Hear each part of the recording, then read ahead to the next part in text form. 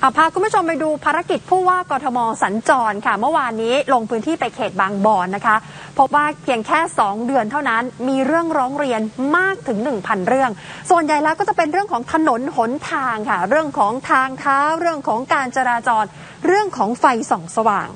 คุณชัดชาติสิทธิพันธ์ผู้ว่ากทมลงพื้นที่บริเวณสี่แยกใกล้กับสำนักงานเขตบางบอนนะคะ ไปติดตามปัญหาเรื่องของการสัญจรที่แยกบางบอนซึ่งเชื่อมกับถนนเอกชัย จะได้วางแผนแก้ปัญหาการจราจรติดขัดในวันปกติ แล้วก็มีตำรวจท้องที่ร่วมลงพื้นที่ด้วย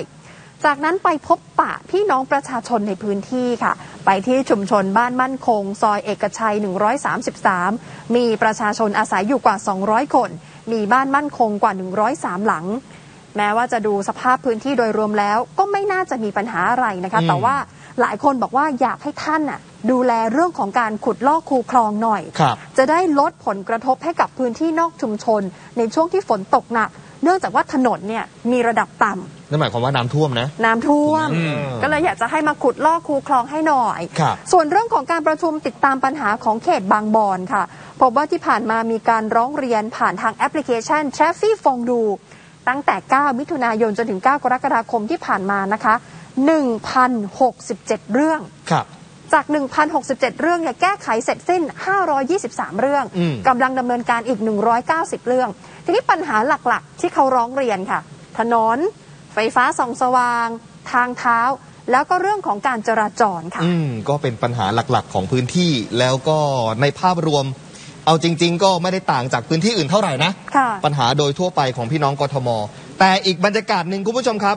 รับประทานอาหารกลางวันกันหน่อยครับอืมเนี่ยฮะบรรยากาศแบบนี้ที่บางบอนนะครับ คุณชัดชาติก็ร่วมโต๊ะกับลูกจ้างสำนักงานเขตบางบอน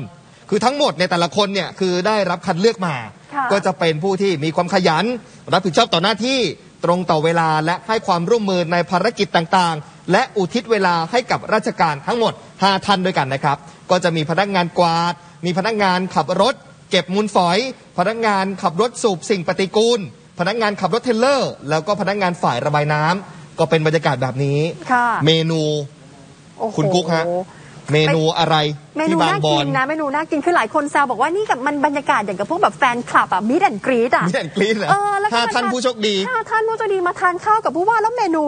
ข้าวขาหมูบางว่า ครับ อืม ร้านดังของย่านบางบอนนี่นะคะ เป็นร้านดังของเขานะคะ มีอีกไหมมีอีกมีข้าวหมกไก่ ครับ แล้วยังมีขนมหวานก็คือกล้วยบวชชีมะพร้าวอ่อน อืม แล้วมีผลไม้จากสวนในพื้นที่เขตบางบอนก็คือของดีของเด็ดของบางบอนเขาอะค่ะ โอ้ ครับก็เอามาเนี่ยจัดเลี้ยงผู้ว่ากินข้าวรวมกันบรรยากาศแบบสบายๆค่ะ สไตครัล์บผู้ว่ากทมทานไปคุยไปถามสารทุกข์สุขดิบ ปัญหาการทำงานมีอะไรบ้าง แล้วก็ย้ำค่ะ บอกว่าผู้ว่าเนี่ยให้ความสำคัญกับพนักงานของเขตเปรียบเสมือนโซ่ข้อสุดท้าย ทำไมเป็นโซ่ข้อสุดท้ายก็บอกอืมนี่แหละ เป็นจุดเชื่อมต่อกทมกับประชาชนอืมเพราะว่ามองเห็นและก็อยู่ใกล้ชิดพื้นที่ใกล้ชิดปัญหา